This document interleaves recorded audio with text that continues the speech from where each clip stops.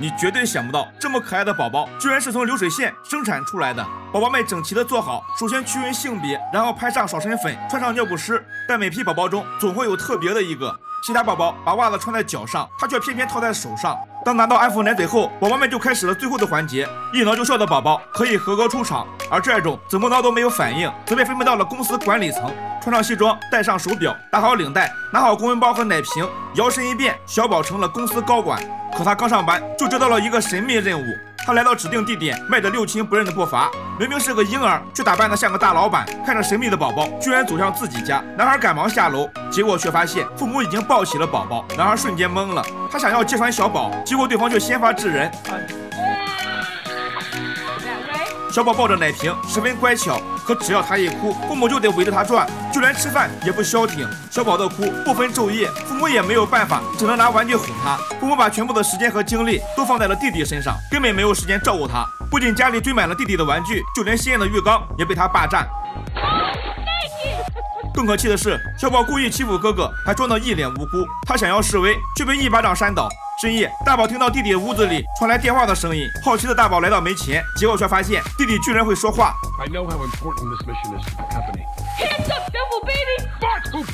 眼看事情败露，弟弟却一点也不慌，因为他知道父母会无条件的相信他，还不慌不忙的调了一杯鸡尾奶，然后还威胁大宝要抢走父母对他的所有爱。大宝虽然表面不在意，但其实他明白自己的地位已经不保了。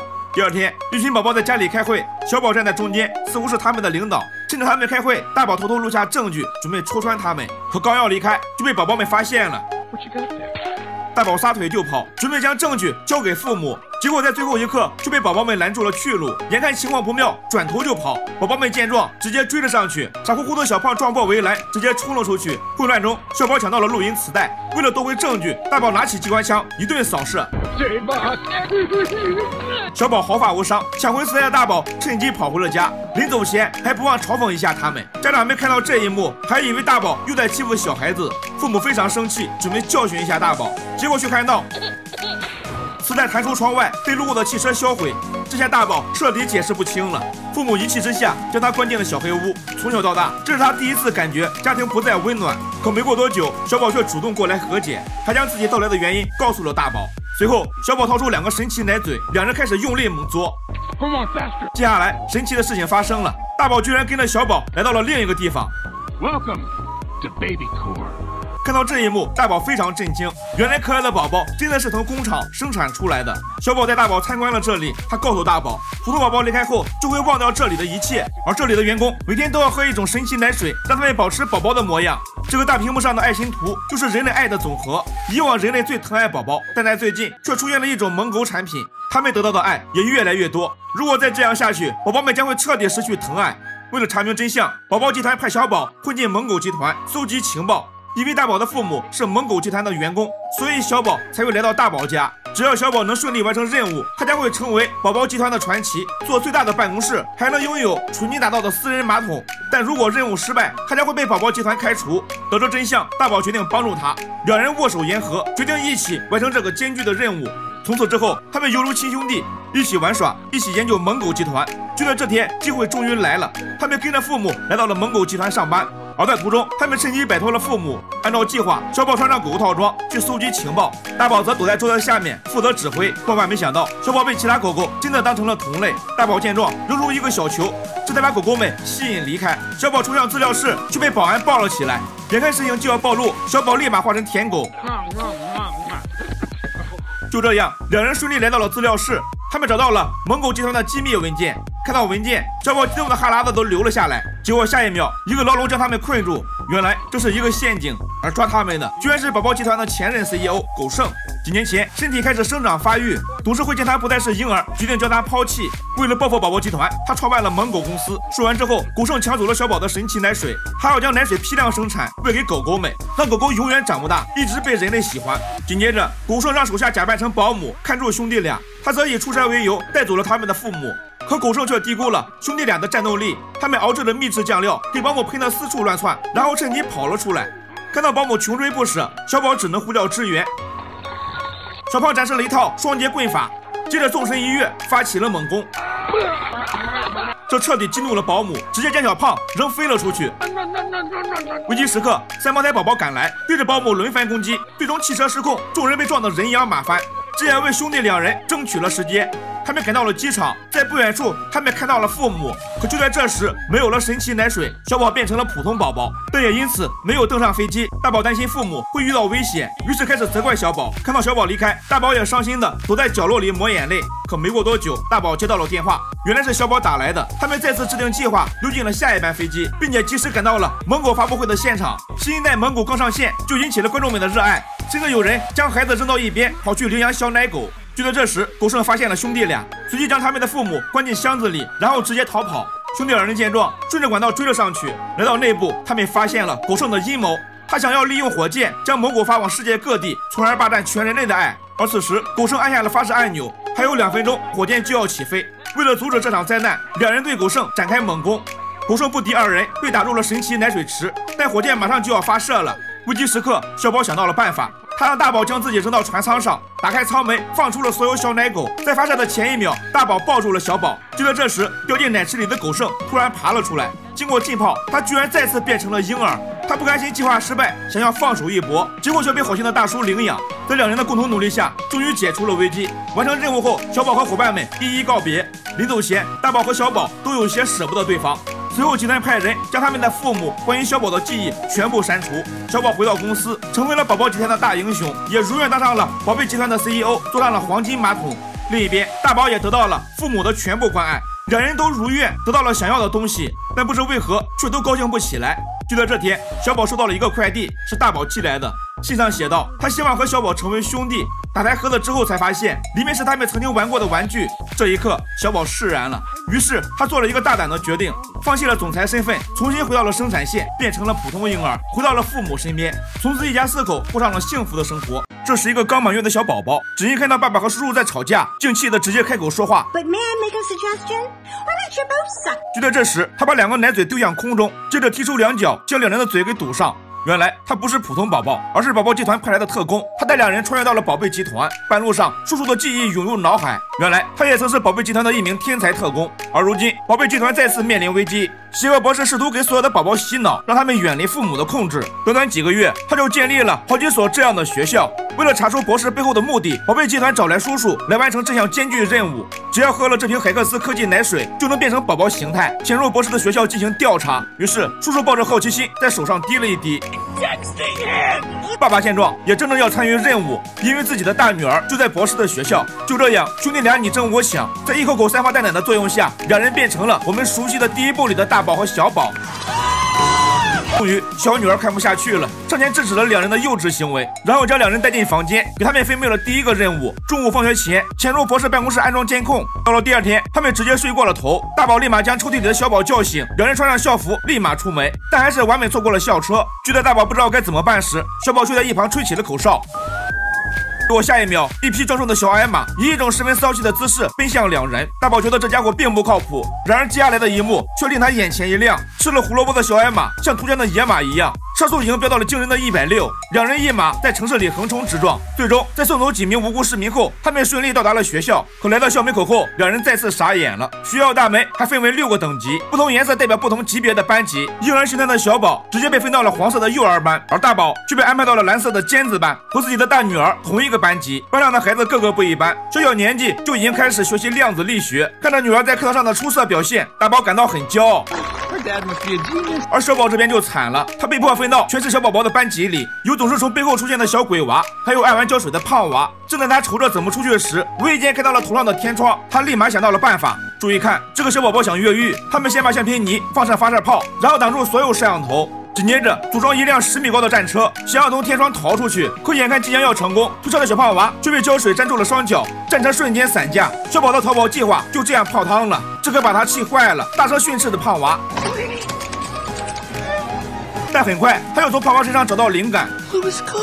于是，小宝利用胶水化身为蜘蛛侠，成功逃出了教室。一路跌跌撞撞，终于来到博士办公室门口。而还在上课的大宝突然想起自己还有任务，他谎称自己要上厕所，这那边的教室居然自带厕所，他只能另想办法。于是故意在课堂上捣乱，想被赶出教室。可等待他的却被关进禁闭室。看来这次的任务只能交给小宝了。小宝用尽吃奶的力气想撞开门，结果门轻而易举的就开了。原来学校里到处都是监控，博士早就留意到小宝今天出色的表现，他不想错过这个跟他一样智力超群的宝宝。为了说服他，他还卸掉了自己大人的外壳。原来他是个满肚子坏水的高智商宝宝。小宝立马将这个消息报告了总部。博士看小宝非常有潜力，于是直接给他安排到最神秘的紫色班级。为了搞清楚博士的阴谋，小宝只能将计就计。这里的宝宝似乎在搞什么神秘科研项目。正当他准备拍照取证时，身后突然出现了一团黑影，原来是个穿忍者服装的小可爱。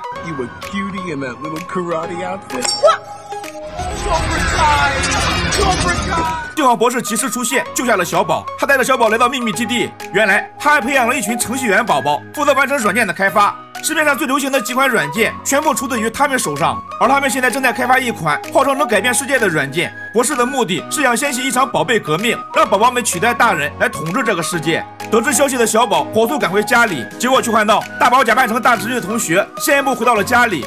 原来任务失败的大宝无意间发现了女儿正为学校的演出发愁。他是学校的主唱，可总是唱不好，被同学们埋怨。大宝决定以同学的身份陪大女儿练歌，帮她找回自信。可当大女儿开口的那一刻，大宝才发现她唱的歌实在难听的要命。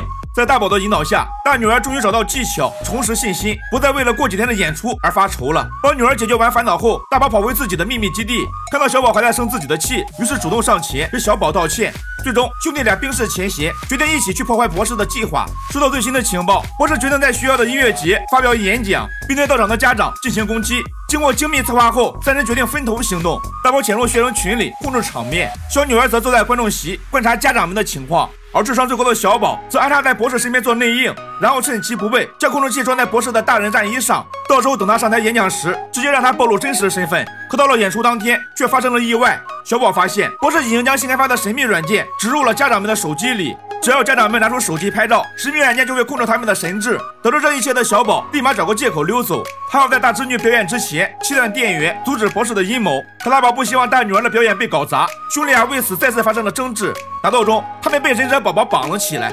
原来博士早就得知他俩来这的目的，为了不让他们捣乱，博士将两人关进禁闭室。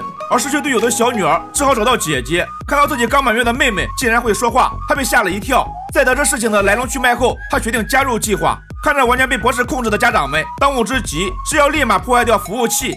熟悉学校地形的大女儿找到了服务器位置，而大宝和小宝却差点被淹死在禁闭室。关键时刻，小艾玛再次赶到，救下了兄弟俩。结果刚逃出来，就遇到了拦路的忍者宝宝。危急关头，看似最不靠谱的胖娃用胶水绊倒了一群忍者。接着是提到的小鬼娃登场，从身后突然出现，直接吓哭了忍者宝宝。在他们的帮助下，大宝、小宝这才顺利赶到服务器下面。可博士也在这时赶了过来，他用超大化的棒棒糖，轻松就抓住了兄弟俩。与此同时，姐妹俩穿上了博士的大人战衣。博士见状，拿出软件控制所有家长，下令让他们抓住大宝和小宝。事到如今，小女儿也豁出去了。只见她直接越过博士，率先爬上大树。只有关闭服务器，才能阻止这一切。博士眼看计划要泡汤，立马用棒棒糖控制住兄弟俩，然后自己爬上大树去追赶两姐妹。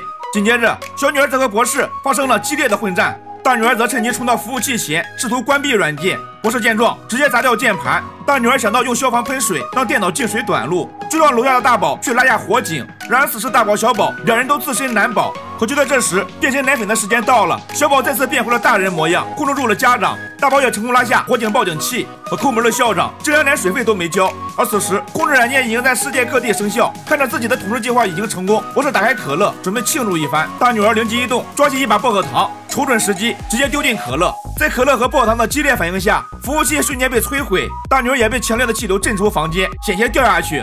还好在最后被变成大人的爸爸救了下来。另一边的小女儿也抓住了博士宝宝。最后，家长们全部恢复了神智，跟孩子们幸福的拥抱在一起。看着下面一家人团聚的场景，博士也意识到家庭才是最重要的。最后也回到了自己的家。你绝对想不到，这么可爱的孩子居然是机器生产出来的。在未来世界，想要生孩子很简单，只需要写一封信，然后寄到送子峰。收到信件的婴儿工厂就会根据你的需求造一个孩子出来，然后有送子鸟护送到你的手中。可由于孩子实在太可爱，导致送子鸟看到都萌生了当父亲的想法。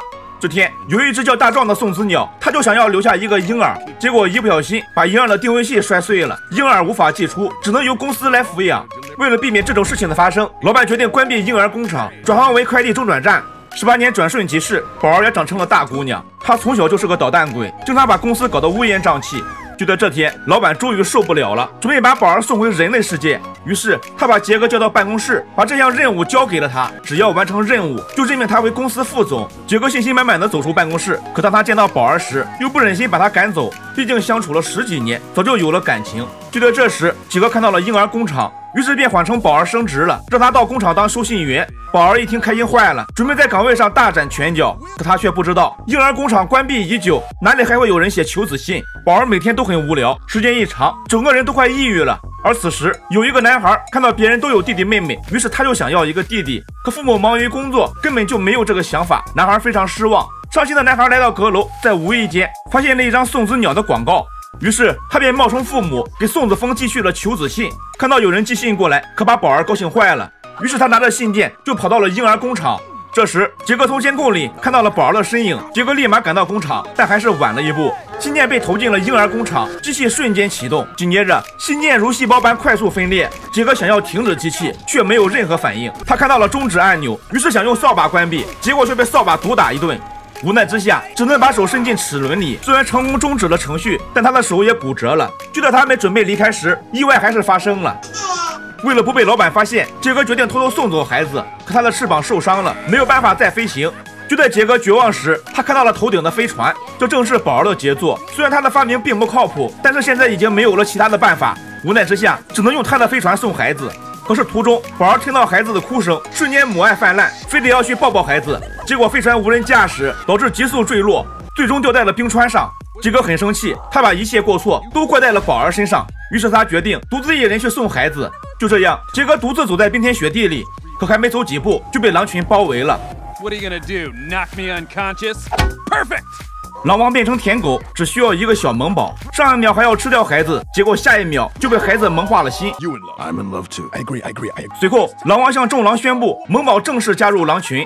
狼王把宝儿两人放了下来，准备让他们哄孩子开心，结果却被宝儿钻了空子。他拿起棍子对着杰哥就是一顿乱敲。看到孩子笑了，狼群又被萌化了。趁此机会，宝儿捡起大木板对着狼王就砸了过去。趁着众狼没反应过来，带着孩子就跑了出去。为了阻止狼群过桥，杰哥直接砍断了木桥，本以为能躲过一劫，可是下一秒，Wolf back，form of Wolf Bridge。没过多久，一座廊桥搭建完成，无奈之下，两人只好换成水路逃跑。最终，他们逃了出来，趁着狼群没追过来，他们爬上飞船，从悬崖一跃而下，飞船瞬间变成了游艇。狼群见状，准备变成飞机继续追，可是下一秒。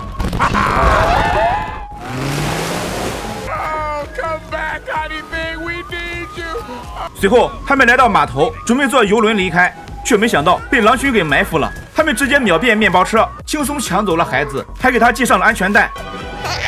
为了不吓到宝宝，狼王决定龟速前行。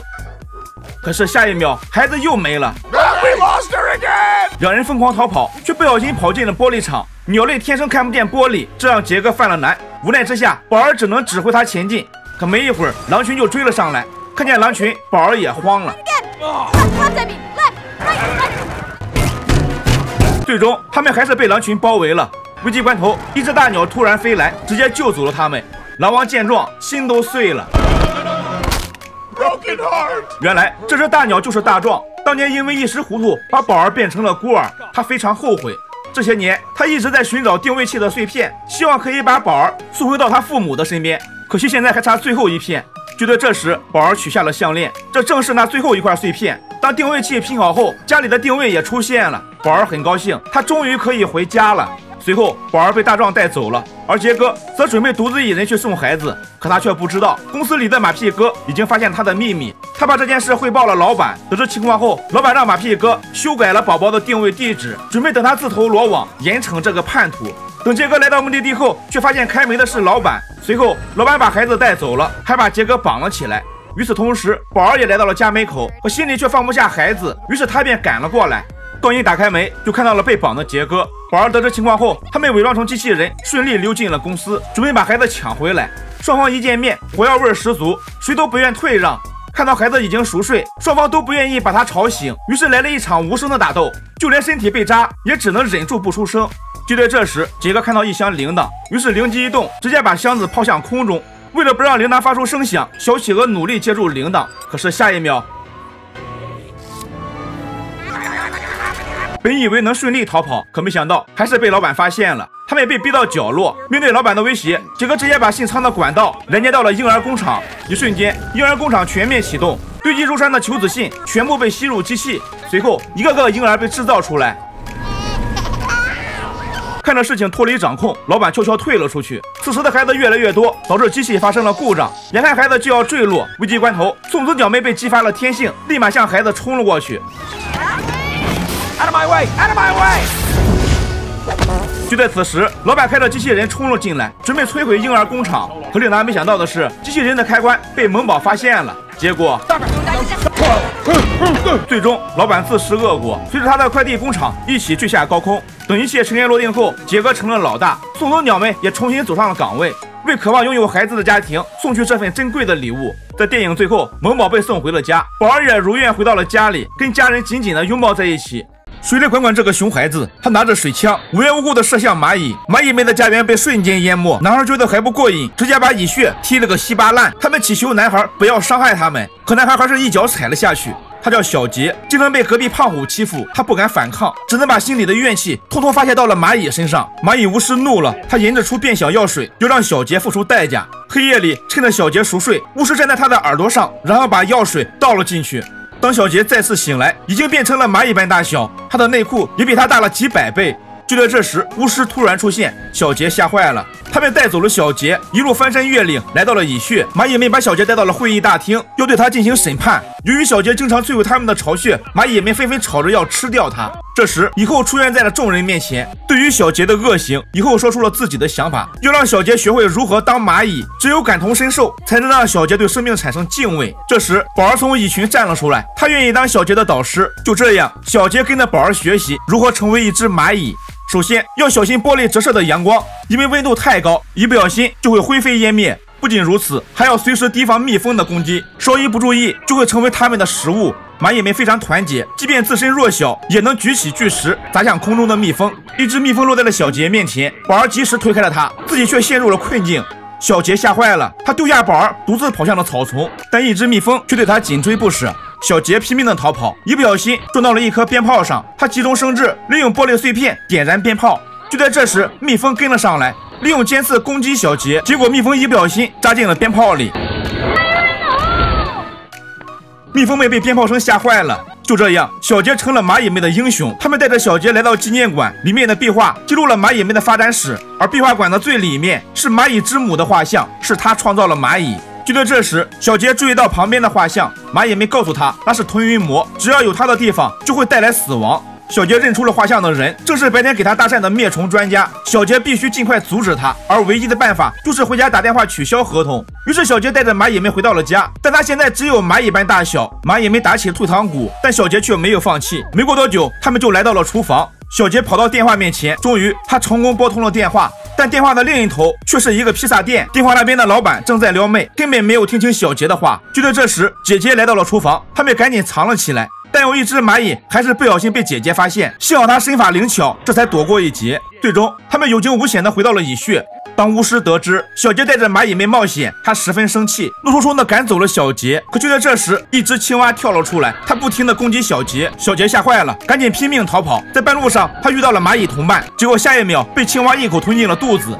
而此时，青蛙的肚子里已经有了三只虫子。就在这时，巫师也掉了进来，他是来救小杰的，手里拿的正是催吐的药。没过多久，青蛙胃里一阵难受，把它们全部吐了出来。看到这一幕，这只苍蝇高兴坏了。结果下一秒，小杰和巫师成功脱险，他们一起回到了蚁穴。小杰也认识到了自己以前犯下的错误，而巫师也选择原谅他。第二天早上，汽车的轰鸣声吵醒了他们，原来是灭虫专家大烟鬼来了。蚂蚁们顿时慌了。为了弥补自己的错误，小杰决定和蚂蚁一起共同抵御灭虫专家。只要用变小药水灌进灭虫专家的耳朵里，就能解除这场危机。小杰找到了蜜蜂，想和他们结盟，可蜜蜂们压根不想合作，还要把他们吃掉。就在这时，一只蜜蜂倒在了他们面前。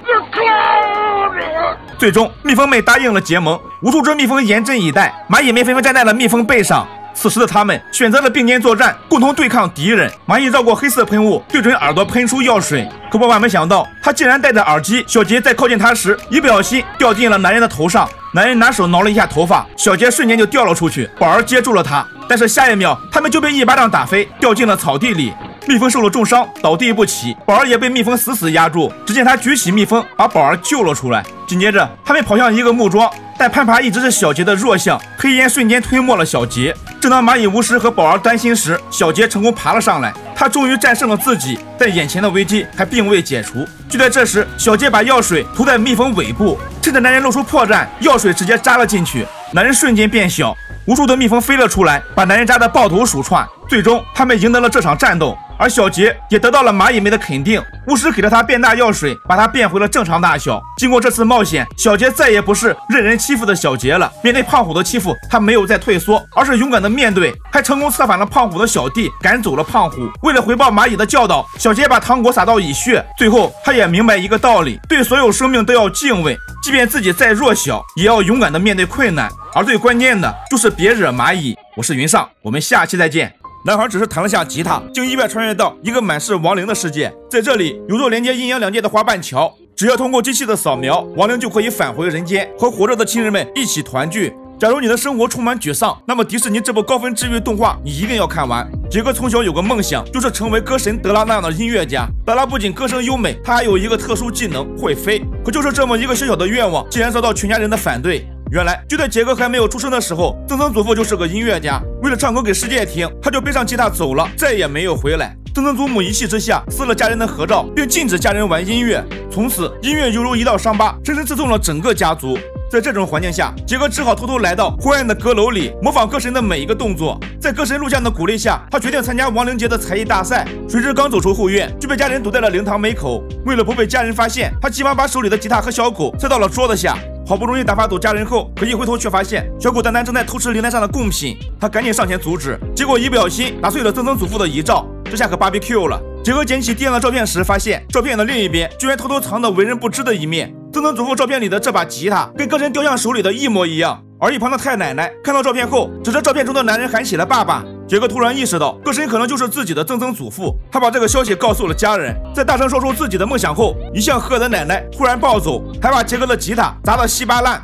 看着满地的吉他碎片，杰哥愤怒地夺过爸爸手里的照片，一路小跑来到了比赛现场。因为没有了乐器，工作人员就无法让他参加比赛。杰哥失落地走在大街上，当再次看到歌神的雕像后，他似乎找到了解决的办法。原来，在歌神的纪念馆里有把曾曾祖父用过的吉他。杰克开心地抱起这把传奇乐器，情不自禁地扫了一下。可是没想到，声音却吸引来了管理员。杰克放下吉他，刚想解释，管理员却无视他的存在，径直穿过了他的身体。男孩被吓坏了，直接跑出了纪念馆。当他看到父母时，他想上去给个拥抱，结果却直接穿过他们的身体，掉进了墓坑里。好心人把他拉了上来，可他抬头一看，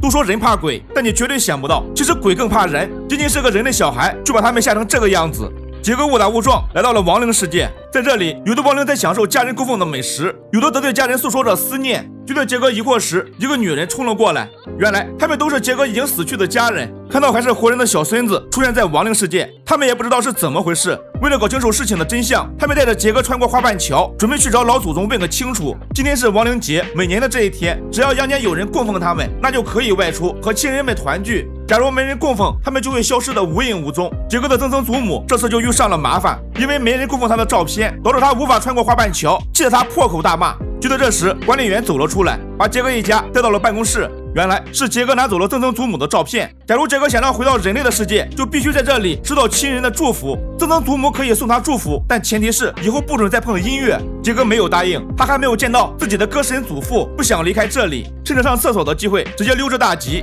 与此同时，这个想偷渡到人类世界的男人被抓住了。面对管理人员的审问，他谎称是歌神的朋友。美味的杰哥听到这些，快速的追上男人，他希望男人能够帮助自己。如果得不到歌神祖父的祝福，他就无法重回人间。作为交换，杰哥也要帮助男人跨过花瓣桥，去和亲人团聚。为了掩饰杰哥的人类身份，男人给他化了个亡灵妆。就这样，两人来到了歌神演唱会。可是没想到，歌神德拉并不在彩排现场，他正忙着开派对。只要赢得广场的才艺比赛，就有机会进入派对，找到歌神。男人从老朋友那里借来一把吉他，然后带着杰哥来到了比赛现场。经过一番激烈的竞争，杰哥顺利的来到了派对现场。为了吸引歌神的注意，杰哥爬上高台开始唱歌。优美的歌声不仅吸引了大家，也吸引了歌神的注意。而另一边，因为杰哥无故失踪，家人们便开始四处寻找，并且他们还带着一只凶猛的野兽。他生前坐拥千万粉丝，而死后更是万人敬仰。别人死后都是没人烧纸，但他收到的礼物多到房间装不下。可是谁能想到，就这样的一代歌神，竟然是靠偷取别人写的歌成名。杰哥历经千辛万苦，终于找到了他的曾曾祖父，可他也不能耽搁太久，必须要在天亮之前回到家，否则他就会永远的留在这个世界。就在杰哥就要收到祝福时，黑暗中出现一个身影，原来是带他来的那个男人也混了进来。杰克曾经答应他，只要收到歌神的祝福，就会帮他把照片带到人类世界。可是没想到，歌神却一把夺过男人的照片，并且告诉他，就是要他被所有人遗忘掉。男人这下彻底怒了，他开始抱怨歌神不仅偷了他的歌，而且为了扬名立万，还杀了他。原来他才是真正的歌神，而德拉只不过是个冒牌货。现在一切真相大白，这个男人才是杰哥的曾曾祖父。德拉也不再掩饰，他叫来保镖，不仅拉走了杰哥的曾曾祖父，还把杰哥扔到了天坑里。眼看自己就要变成亡灵，曾曾祖父也将因为无人供奉，彻底消失在这个世界。就在这时，一只猛兽突然来到洞口。原来是曾曾祖母找到了这里，在杰哥的解释下，曾曾祖母终于原谅了曾曾祖父。不是他不想回家，而是在回家的路上被德拉杀了。而现在，只要找到德拉，拿回曾曾祖父的照片，就能让他被家人供奉，不然就会彻底消失。在全家人的努力下，祖母成功从德拉那里拿回了照片。就在杰哥接受祝福时，德拉却突然出现。为了揭露他的丑恶嘴脸，家人趁机打开了摄像机。德拉的所作所为都被现场的观众看到。德拉为了保住自己的名声，一把将杰哥扔了出去。就在这时，祖母的宠物及时出现，救下了杰哥。可惜埃克多的照片却不幸沉入水底，没办法用了。埃克多没有责怪他，他只希望杰哥能平平安安回家。德拉的丑恶嘴脸被戳穿了，再也没人支持他，他被巨猫叼到空中，受到了应有的惩罚。就在太阳即将升起的那一刻，杰克成功的收到祝福。回到纪念馆，他拿着吉他火速的跑回家。电影到此也接近尾声。尽管这是一部动画大电影，不仅在上映时看哭无数观众，更是让某办一百五十万网友打出九点一分。有兴趣的小伙伴可以准备好纸巾看下原片。我是云上，我们下期再见。